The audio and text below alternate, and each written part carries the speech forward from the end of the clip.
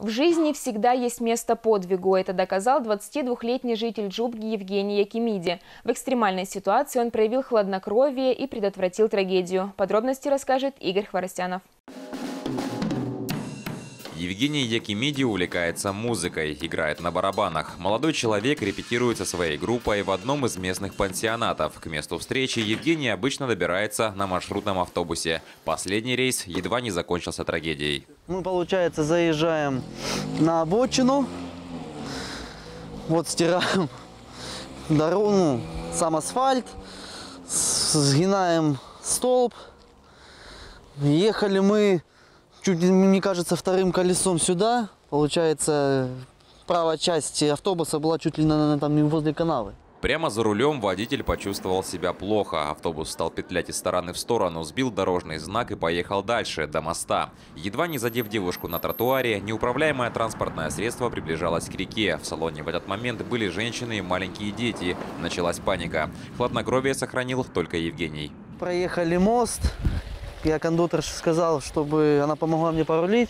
И мы более-менее как-то вырулили, и я наклонился и притормозил. Спустя несколько метров автобус, полный пассажиров, стал плавно снижать скорость. В общем, мы останавливаемся здесь, при этом же держа в педаль. Я ждал, пока кто-нибудь подойдет из э, мужского пола.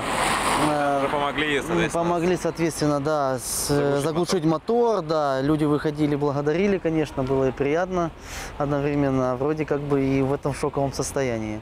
Как сообщают пассажиры, судя по симптомам, у водителя случился инсульт. Однако от скорой помощи мужчина на отрез отказался. Скорую помощь вызывали ему, но он не поехал.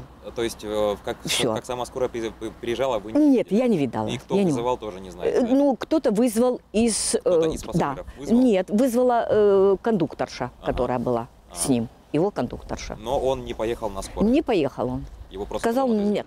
По информации, полученной в администрации Джубского поселения, водителя автобуса отстранили от работы, а герою этих событий Евгению Якимиди объявили благодарность на работе. Впрочем, о своем поступке молодой человек говорит с присущей настоящим героем скромностью. Ну, все нормально, обошлось. Самое главное, что люди здоровые остались, а остальное не важно. Конечно, не люблю, когда хвалят сильно, но ну, приятно в любом случае. Хорошо, что так получилось. И себя, и себя спас, и всех тех, кто там был в этом автобусе. Игорь Хворостянов, Алексей Кузьмин, Аркадий Коваленко. Телеканал «Орленок ТВ».